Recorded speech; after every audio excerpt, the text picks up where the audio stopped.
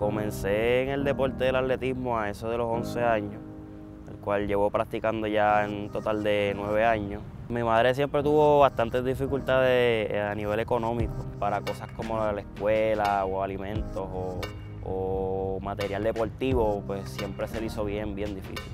Vendió mayor coffee cake, vendió chocolate eh, y pues con lo poco que tenía lo estiraba hasta donde diera.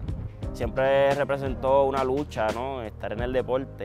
Trataba de competir con otros atletas ¿no? y estar a su nivel, pero mi capacidad no era la misma de ellos y siempre me veía, perdiendo, eh, me veía que, no podía o siempre me veía atrás. Lo que yo quería en ese momento no estaba saliendo. Cuando me recibió mi entrenador Jorge París y lo que para mí era fuerte era imposible, que yo me quería quitar, yo no quería hacer ya más el evento. Pero cuando empecé a ver un cambio, ¿verdad? Por la disciplina que me, que me enseñó mi entrenador, pues ahí me empezó a interesar más el deporte y hasta, pues, hasta el sol de hoy que he obtenido grandes logros. Yo entreno lunes a sábado, en la semana doble o triple entrenamiento al día.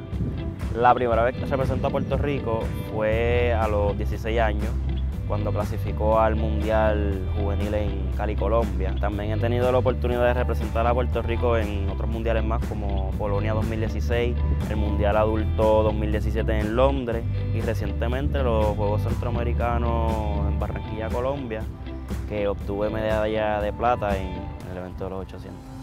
Es la primera eh, presea que obtengo de gran valor y para mí eso es el inicio del camino a los Juegos 2020 en Tokio. El sacrificio que he obtenido estos nueve años para mí vale la pena de verdad y, seguiré haciendo lo imposible por seguir obteniendo más y más para, ¿verdad? para mi patria Puerto Rico.